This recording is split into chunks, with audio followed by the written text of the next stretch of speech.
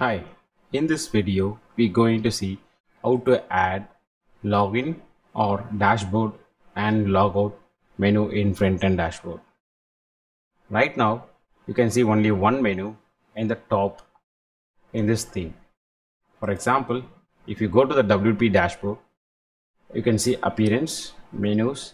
Inside the menus, you can see this primary menu has been selected, which is been used in this theme here. So I just added only one menu item in this menu. So click save. And if you refresh this page, you can see only one menu item has been there. Now we need to add login or logout and dashboard. For that, we have to go to front end dashboard, front end dashboard, login and front end login menu. You have to select the respective menu items.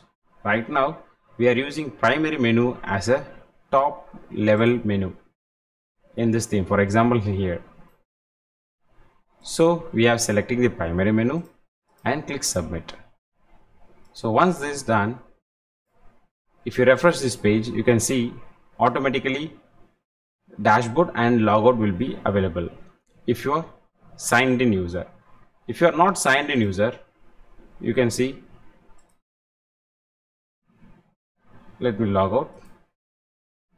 You can see automatically only login menu. So whenever the user clicks here this will redirect to the respective login page. Thanks for watching